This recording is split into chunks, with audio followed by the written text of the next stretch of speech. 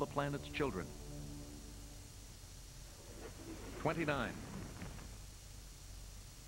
Until the mass production of the Victrola began in the 20th century, only the rich could really afford to hear music. Recorded music makes possible the democratization of pleasure. It's possible for each individual now to come into contact with any and all kinds of music and to carry it with them. 28. The divided city of Berlin was ground zero in the intense, bitter ideological conflict between the U.S. and the USSR after World War II. In 1961, the Iron Curtain dividing Berlin became visible as the East German government built a 28-mile wall around West Berlin to close it off from the communist world that completely surrounded it.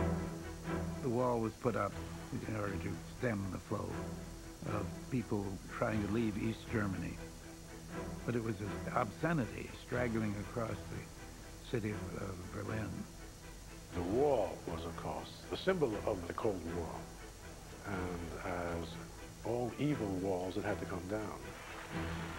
In 1989 and 1990, popular reform movements across Eastern Europe threw the communists out of power.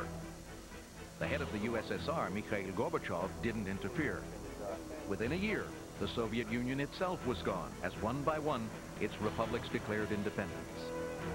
But after half a century of terror and of police states, the people of Eastern Europe and the people of the Soviet Union itself couldn't stand it any longer. The wall was torn down by the people it once divided. Gorbachev deserves great credit for the way in which he went along with the peaceful dismantlement of the Soviet system.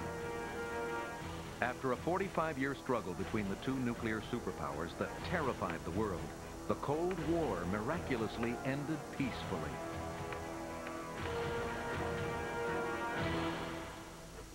Twenty-seven. Beginning in Mexico in the 40s, agronomist Norman Borlaug developed a hybrid strain of wheat that tripled crop yields, for which he won a Nobel Peace Prize. Other super grains soon followed. The green revolution brought about by high-yield agriculture now feeds most of the world by growing more food on less land than ever before. 26. When midwife and nurse Margaret Sanger opened the first birth control clinic in America in 1916, she was jailed for it. She went on to be the driving force behind the development during the 1950s of the first reliable oral contraceptive, the birth control pill. One of the major achievements of the 20th century is the idea that women could decide if they were going to be mothers. If they were mothers, how many children they were going to have. This was an incredibly liberating possibility. To date, Hundreds of millions of women worldwide have used the pill. 25.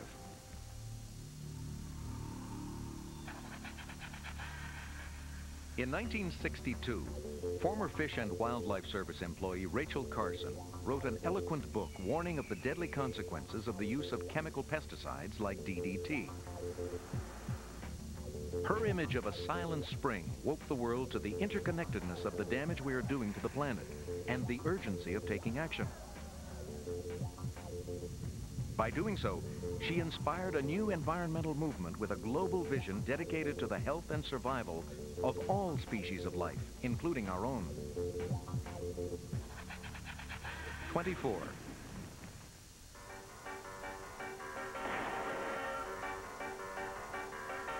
It's hard to imagine what an astonishing magic trick motion pictures must have first appeared to be.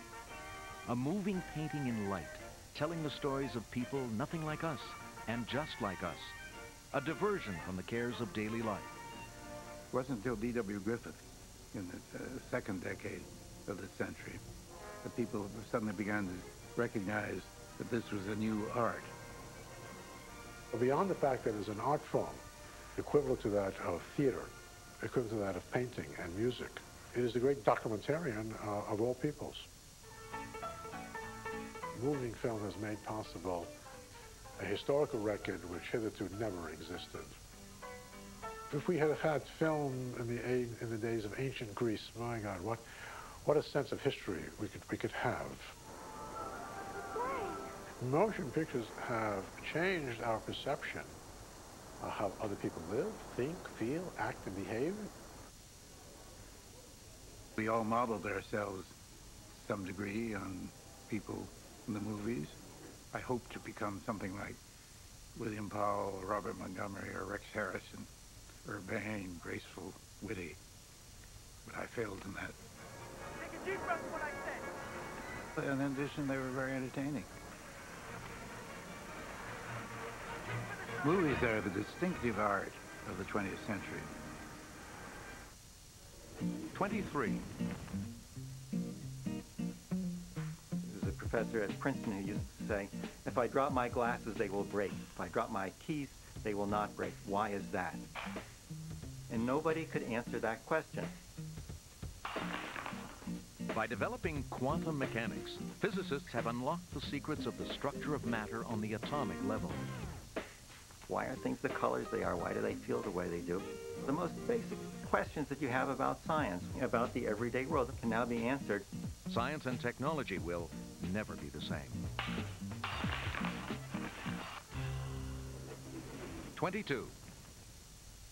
Bill, hi. I just got your video message. At the end of the century, we're all transfixed by what's happening in cyberspace. Less than 10 years after the World Wide Web turned the internet into something anybody could navigate, more than 100 million people are surfing the net. Email, you're now writing to a great aunt who would never have put pen to paper to before. You can contact people across the world. For scholars, amazing research. It gives full rein to the imagination. The whole business of selling things on the internet, the commerce of it. The time is coming in the next century when it will change everybody's life. 21. If you go back to the turn of the century, most educated people believed that evolution took place, but they had no idea how evolution took place. They had no idea why a son would resemble his father. But in 1953, James Watson and Francis Crick worked out the chemical structure of DNA the coding that allows genetic information to be copied and passed on from generation to generation. They had discovered the instructions for how to build life. Already, we can design bacteria that can produce human insulin for diabetics and grow replacement livers in the lab from a single cell. We're going to be able to do so many things by manipulating biotechnology that the real question is going to be what do we want to do? 20. Where would the automobile be without roads on which to drive? By the end of the century, millions of miles of highways around the world have brought mobility and individual freedom for the average person on a scale never seen before. 19. In the 19th century, people worked from dawn to dusk in the mills. Small children worked in sweatshops what saved capitalism from class conflict between the rich and the poor from communist revolution was the fact that workers began to organize within the system. They raised wages, reduced hours of labor, and in effect humanized capitalism, and it was the humanization of capitalism which preserved it. I think uh, every capitalist ought to be very grateful to every labor organizer for what they have done to defend and put a human face on the system. Our countdown of the 100 greatest achievements of the 20th century continues when we return.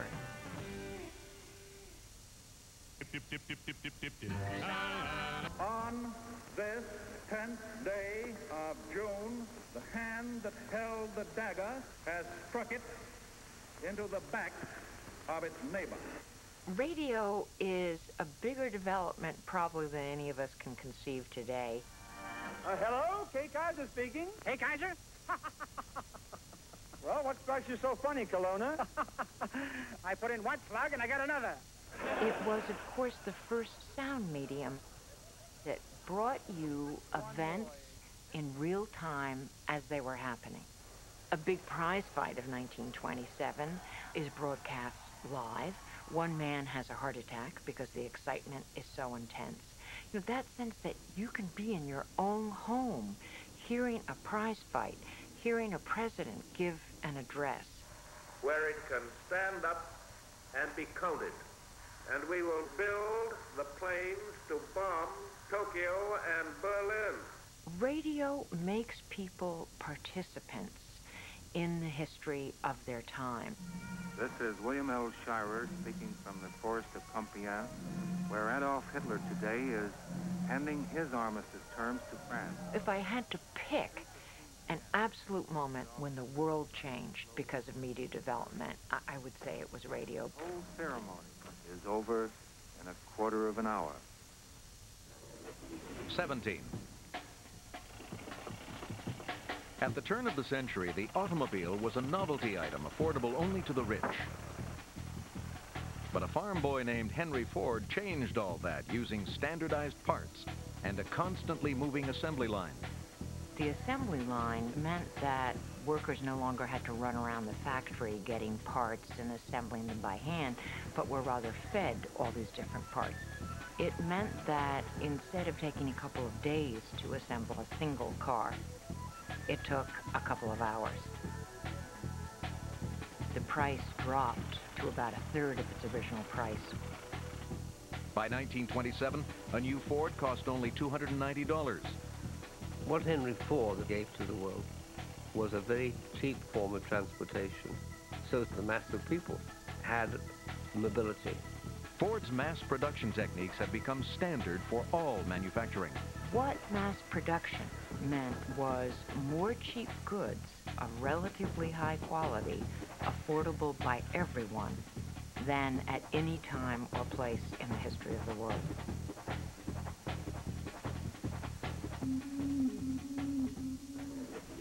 Sixteen. Television is perhaps the most amazing invention of the century allowing moving images and their sounds to be transported instantly across great distances without any wires.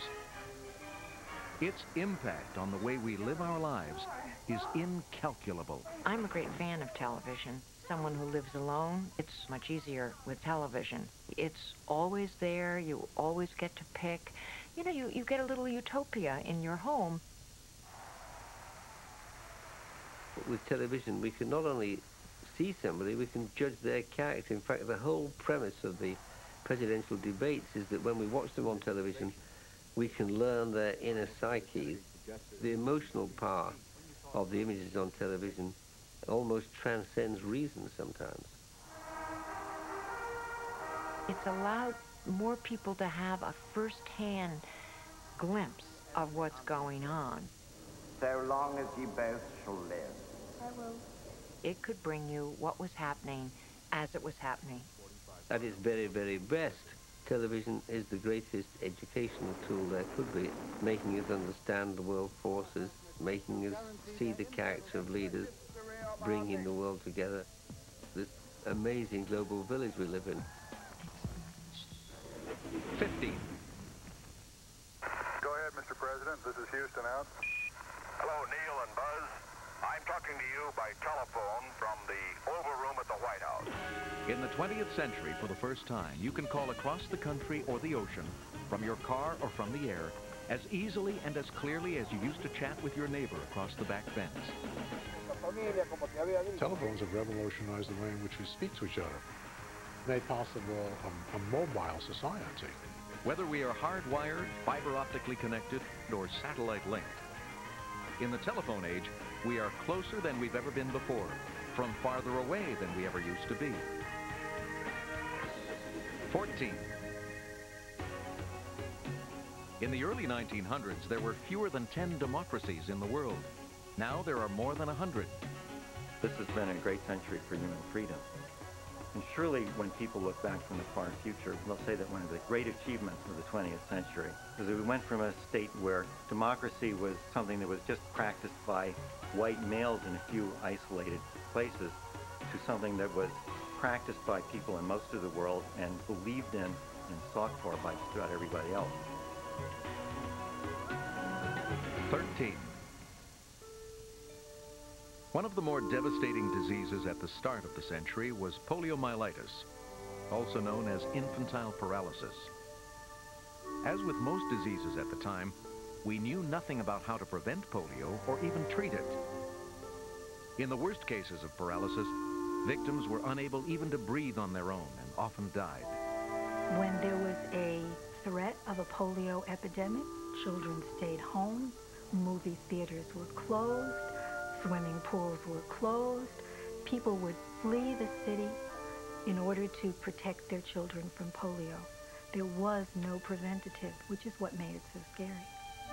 Everyone seemed to be working to come up with a safe and effective vaccine, but Dr. Jonas Salk was the first to succeed in 1952. Worldwide vaccination programs have brought about dramatic declines in many of the most deadly diseases known to man.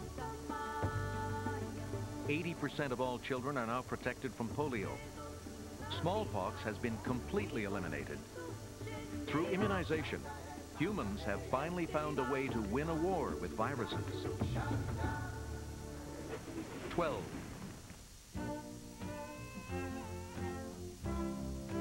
Better food supplies and control of diseases have increased the life expectancy of the average baby more in the 20th century than in all of human history.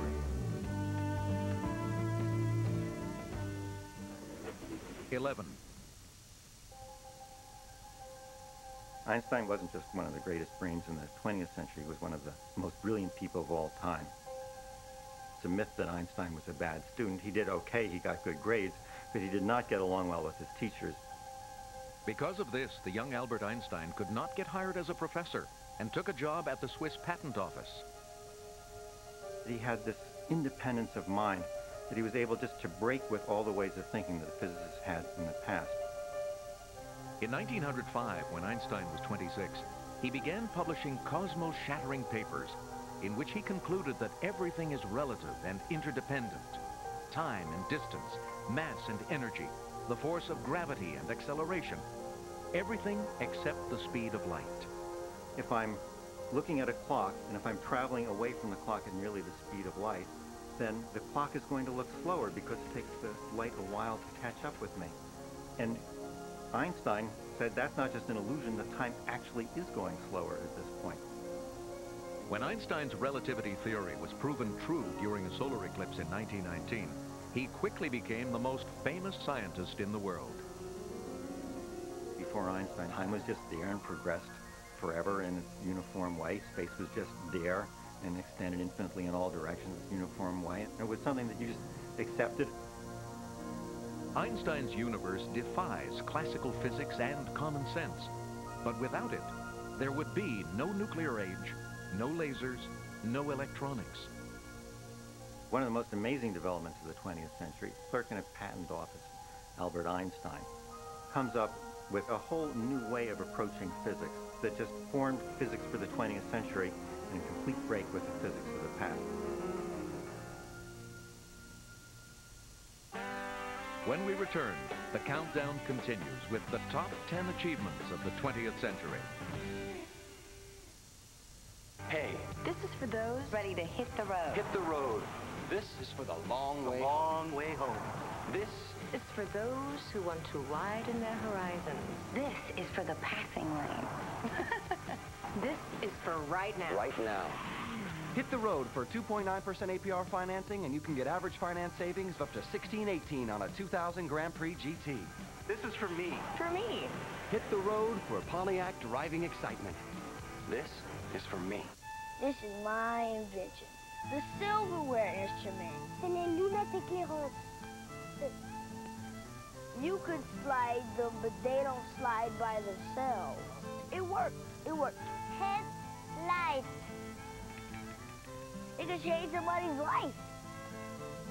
24-hour Samsung. That is the greatest idea I've ever came up in my whole life.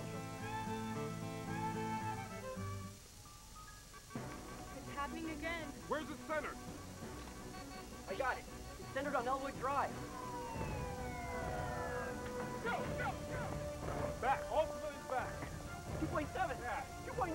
Feeling it. Go, go, go, go! I just saved hundreds of dollars by switching to Geico! Geico Direct. A 15-minute call could save you 15% or more on car insurance. The King brothers, separated at birth. George King went to a family that subscribed to fishing magazines. James's family subscribed to the Wall Street Journal. 28 years later, George lived with his parents, while his brother James started a B2B web company and went public with a record first day pop. Food for thought, especially since you can get 13 weeks of the Wall Street Journal for just 57 cents a day. That's 25% off the regular rate. Call 800-923-3300. That's 800-923-3300 for the Wall Street Journal. Ready or not, here it comes. This may be your last chance to watch TLC or anything else. Whether the end comes by flood or famine or plague or worse or nothing at all, one thing is certain. This is the best place to wait and see. It's Y2K with TLC. Tune in for the end. The TLC Armageddon night beginning tonight and ending, well... Now, what are you going to do with all that canned food? That's so 20th century. What was that? It might be the furnace. It might be the foundation. Or it might be someone trying to get in. The only way to be sure is with this sound, a Security Link home security system from Ameritech. Security Link protects your home 24 hours a day, 7 days a week, for less than a dollar a day.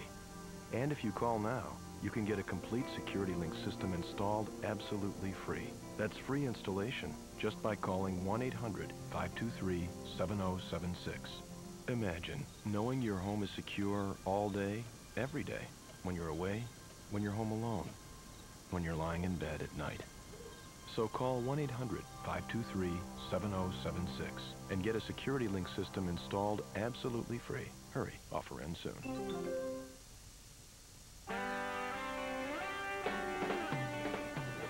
Number 10. You're doing very well. The room-sized ENIAC, built in 1945, was one of the first computers. Before that, they would have a room with young women who were sitting down there doing computations with paper and pencil, and they were called the computers. Now they had something that worked at even lower wages because all you had to feed it was electricity, and it could do the computations much faster. A half century later, a quarter-inch microprocessor, a computer on a chip, is far more powerful than ENIAC and much cheaper. As computers have miniaturized, learned our languages, and begun to think, the uses have exploded. I regard the word processing aspects of computers as one of the glorious inventions of modern times. The kind of society that we're running now, with its enormously complex interactions, just would not be possible at all without computers. We're moving into a new age, and the computer revolution will be even more deep-running transformation uh, than the industrial revolution. Nine. The dream of soaring like a bird is an ancient and powerful one. The changes brought about when that dream became reality have transformed the planet. On December 17, 1903, the Wright brothers set out to prove the gasoline-powered machine they'd designed could fly. In a world where horses were still the main form of transportation, Orville Wright, a 32-year-old bicycle mechanic, seemed mad even to attempt the stunt. From when the very flimsy Wright brothers aeroplane, bits of uh, wood and cotton canvas first lifted off the ground at Kitty Hawk, the potential of it wasn't realized. Flight has shrunk the world in ways unimaginable. You can leave London in a Womber Concorde and arrive in New York at a slightly earlier time than you left. No corner of the Earth remains unchanged by flying machines. It's an astonishingly swift progress from that little bumpy ride on the North Carolina beach. Eight. Around the turn of the century, if a child was running a high fever, there was a very high likelihood that the child would die. There was very little you could do. You really didn't have any medicine. More people died from influenza epidemic of 1918 than were killed in action during World War I. It isn't the influenza itself that directly killed. It was the secondary pneumonia infections that followed. But there wasn't any specific treatment. But in 1928, a petri dish in the lab of Scottish bacteriologist Alexander Fleming was contaminated by a mold that happened to drift in from a mycology lab on the floor below. Fleming noticed that the mold was producing a substance that was killing the infectious staph bacteria he'd been growing.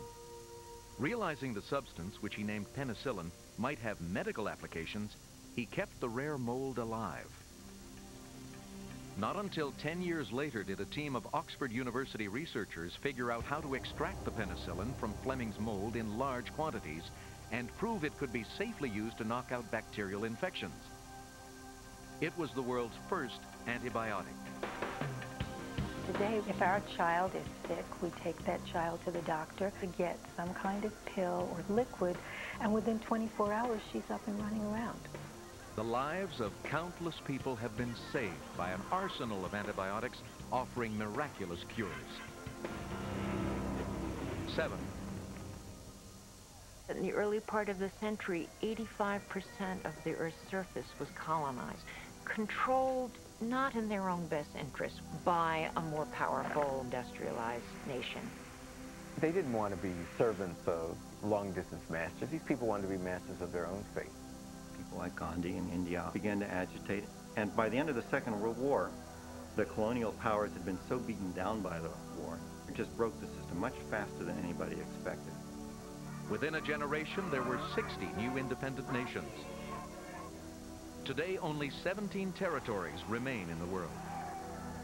What people have won by getting themselves free of the colonial power has been, above all, a feeling of self-worth. As they began to take on some form of self-government, they could feel that people like themselves were capable of doing anything. Six. At the turn of the century, it was assumed a woman would be a wife and a mother. Women who wanted to work faced very large obstacles. Many times, if the jobs were open, they were only open to single women. There were very powerful women's groups fighting for their rights, but there was tremendous opposition. The most important thing for women in the 20th century was, of course, getting the vote. The surprising thing is that it took so long. The women were trapped in stereotypes. They were not mechanical, they didn't have enough intelligence, their place was in the home. In the early 60s, they were earning about half the pay of men for doing equal work. Women were barred from entering so many professions. When you look back at the progress that's been made, it's extraordinary. Five. Prior to the Civil Rights Movement, black people lived in an almost exclusively self-contained world. I traveled to the United States in the 50s and was astonished to find I could not play chess with a black man or invite him to my hotel for a coffee. The uh, Declaration of Independence said all men are created equal. The great shame of the United States, the foul stain upon our history, is uh, racism, the injustice we have done to non-white peoples. For almost 60 years, a policy of separate but equal was legal, even according to the Supreme Court. And what the Civil Rights Movement was about was giving us the opportunity not to be treated unfairly or to mm. receive things unduly, but to be allowed to compete person to person, same point on the starting line, with our peers, not just our black peers, but our American peers. Even after segregation was finally ruled illegal in 1954, when nine African-American teens tried to enroll in all-white Central High School in Little Rock, Arkansas, President Eisenhower had to call out the National Guard to protect them.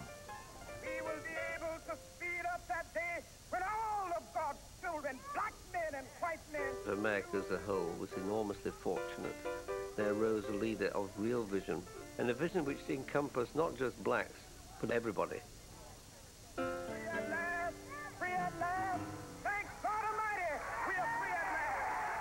I haven't seen anyone before and anyone since who had that charisma, that intelligence, that voice, the capacity to name a people's dreams and aspirations, to motivate normal, regular African Americans to put their lives on the line to fight white racism and segregation. And until that happened, segregation wasn't going to go away.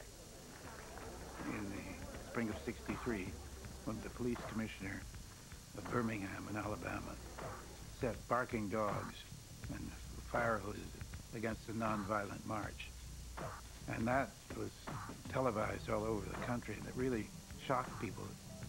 That made possible the passage of civil rights legislation. Martin Luther King has made the most effective challenge to the bad conscience of the white majority. It's the first time in American history that a group of people used civil disobedience to insist upon and achieve their political rights. If you believe in democracy, and if you believe in equal rights, and you believe in justice, all people should receive the same uh, treatment and the same opportunity. It's a moral imperative of democracy. That one day on the red hills of Georgia, sons of former slaves and the sons of former slave owners will they be able to sit down together at the table of brotherhood. I have a dream.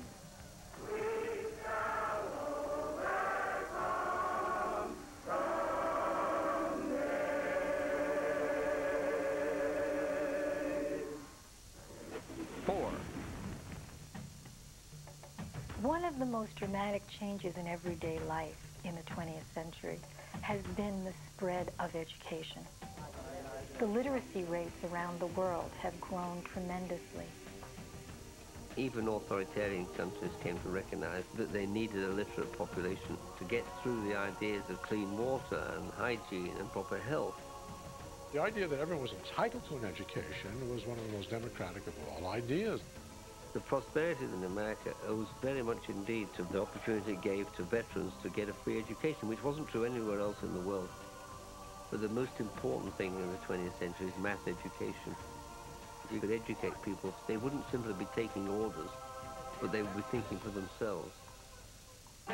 When we return, the countdown concludes with the three greatest achievements of the 20th century. This TLC program is sponsored in part by Sprint PCS. Experience the clear alternative to cellular. What was distinctive about World War II was that it was a genuine global war. Nowhere was sheltered. And secondly, it was the moral significance, a genuine fight against evil, against the murder of six million Jews, against a threat to civilization.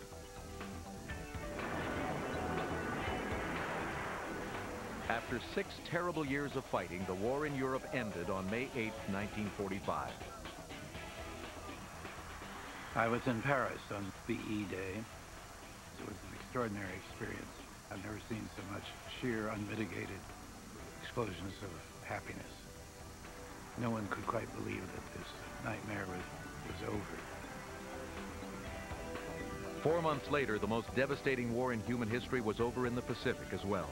The uh, Second World War ended the fascist threat, ended the threat of Japanese militarism, and gave democracy a new lease in life.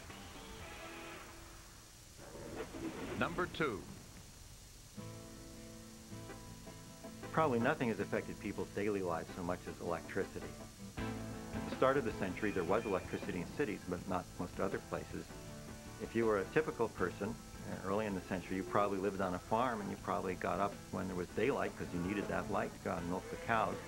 And then if it was plowing season, you'd spend most of the day following the rear end of a horse. And that was what your life was like. With the coming of electricity, lives changed dramatically.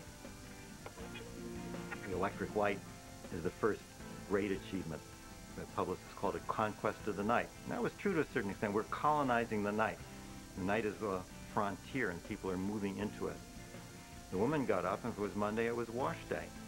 And Monday was wash day because she spent a lot of Monday washing. And then Tuesday was ironing day. And she put the iron on the stove and when it was hot enough, she ironed. And it's really electricity more than anything else that has freed us from so much of this drudgery.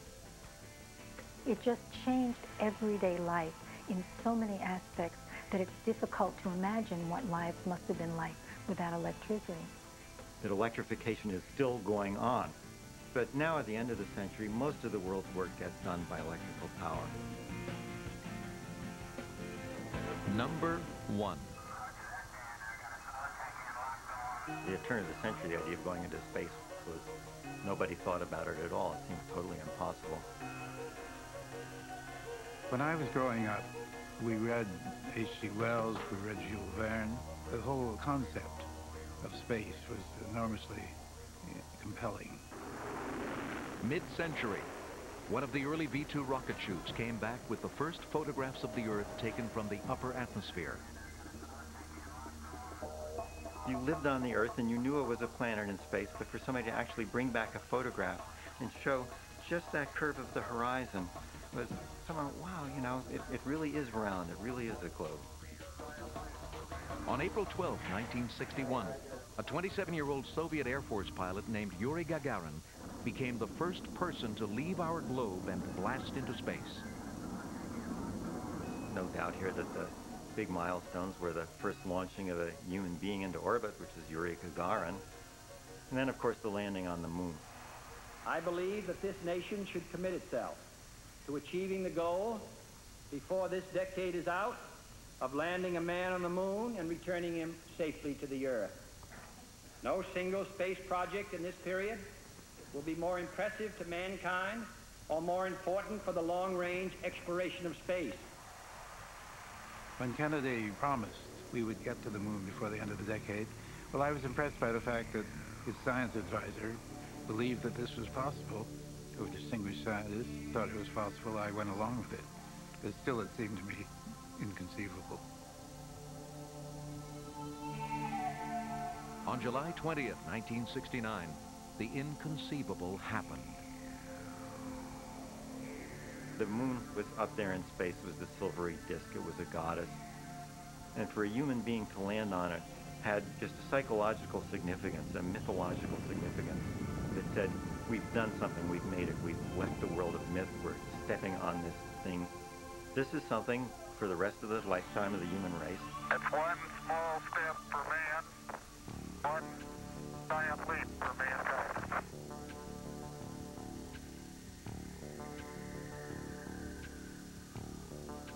Some of those first pictures taken back from the moon showing this beautiful blue marble out in space gave people a different way of looking at things, brought home to people what an oasis this is. In the 70s, we began probing further out into the solar system and beyond, sending home pictures and data, and sending out messages of welcome to other worlds. The idea that we could actually do this shows a kind of capability that people really had not imagined that human beings had. It's created the whole possibility of life elsewhere in the universe. There's no question the next place to go is to planets around other stars. I think the idea that there might be other life out there is so compelling that sooner or later, and we're going to go out there.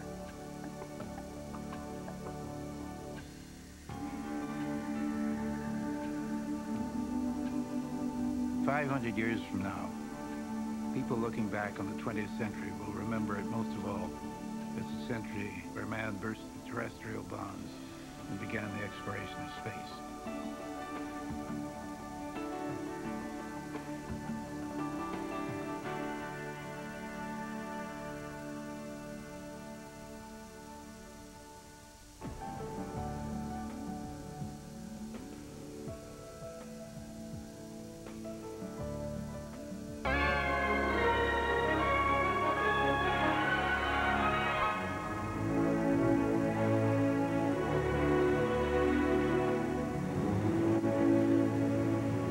Malice toward none, with charity for all, with firmness in the right, as God gives us to see the right.